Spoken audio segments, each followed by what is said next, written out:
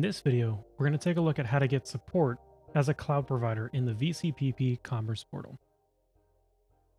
Before we get started, I want to highlight the two different types of support and where to go. For technical support relating to VMware products and license key entitlements in my.vmware.com, or downloading products, open a ticket at my.vmware.com. For billing and operation support related to cloud provider contracts, monthly billing orders, ordering additional licenses, or user management in the VCPP Commerce portal, open a ticket in VCPP Commerce portal. This replaces emailing VCPP operations to open a ticket.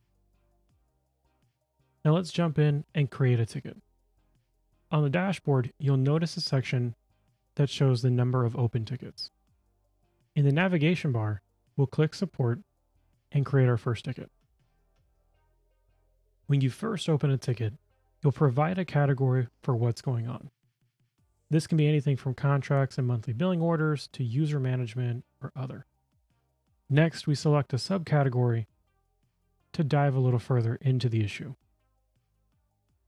Next, let's add a subject title for the ticket and then a description for what's going on.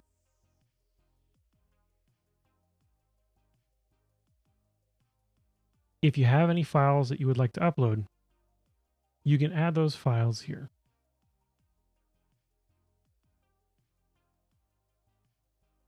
Now that I've opened the ticket, I can see it in my list. And if I want to edit, add to the ticket, or close it, I can click on it. You can add additional users to be emailed for updates on this ticket. If you need to add additional comments or files, you can do so at the bottom. And if you need to close the ticket, you can click on the close button at the top. Just provide a reason and add a little extra details on why it's being closed. And if you need to reopen, you can do so at the top. For more information, check out our other videos on the VCPP Commerce Portal.